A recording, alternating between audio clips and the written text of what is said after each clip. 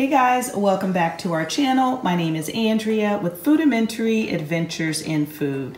And I am here today to share a quick and easy recipe for chocolate chip pecan bars. So let me show you what you're going to need. And by the way, of course, I'll make sure to leave the recipe in the description box. You are going to need some flour, butter, corn syrup, eggs, some semi-sweet chocolate chips, or if you prefer milk chocolate, that is fine too. You're going to need some brown sugar. You're going to need some pecans. Now I am using candied pecans. You do not have to use candied pecans. Regular pecans will work just fine. And you're going to need some white sugar. So if you want to see how this quick and easy recipe comes together, stay tuned.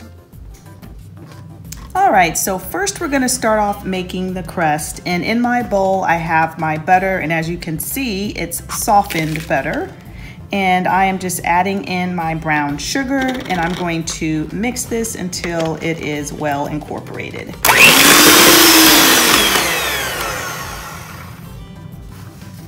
And now I am just going to add in my flour a little at a time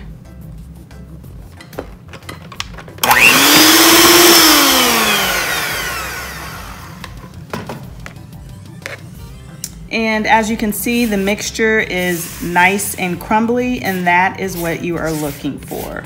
So I'm just scraping the sides of the bowl here just to make sure I've got everything well incorporated. And I do have my oven preheated to 350 degrees. And so now I'm going to take my 9 by 13 pan and I have it lined with non-stick foil. And then what I did, I took the butter wrapper and I just smeared it over the foil. Now, I didn't have to do that because it is non-stick foil.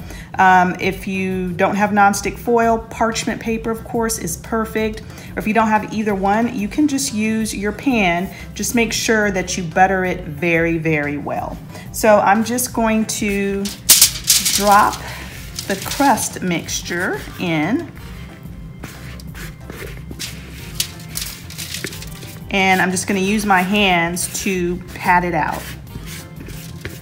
And then I'm gonna bake this for half an hour or until it's nice and golden brown. And then you're gonna need to let your crust cool completely. So, you know, you're gonna have to let it cool. You're not gonna be able to pour the mixture on top of it if the crust is hot. So this dessert does take a little bit of planning. You could even do the crust the night before, or the day before, I should say, if you wanted to. All right, so I've got everything all patted down. Like I said, I'm gonna pop this up in the oven for about half an hour, and then I'll be back. Okay, so my crust is out of the oven. I let it cool for probably about an hour and 15 minutes. I, I did end up baking it for half an hour. You may see some little uh, clumps of brown sugar in there. I just didn't mix it well enough, so that was my fault. But that's what the little brown speckles are. So now we are going to make the filling to go on top of the crust.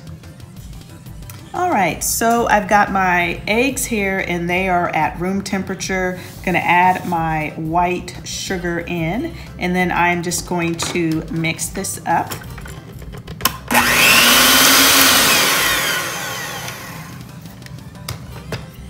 Going to add in my corn syrup.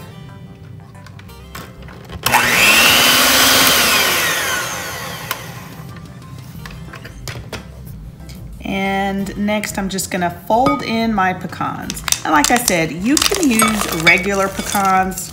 Um, you don't have to use praline pecans. That's just what I like. And I'm just gonna fold these in.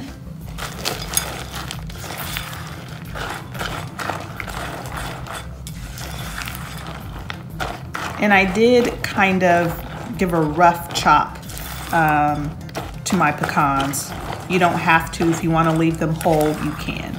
So I've got the pecans in there, and now I'm just going to add my chocolate chips.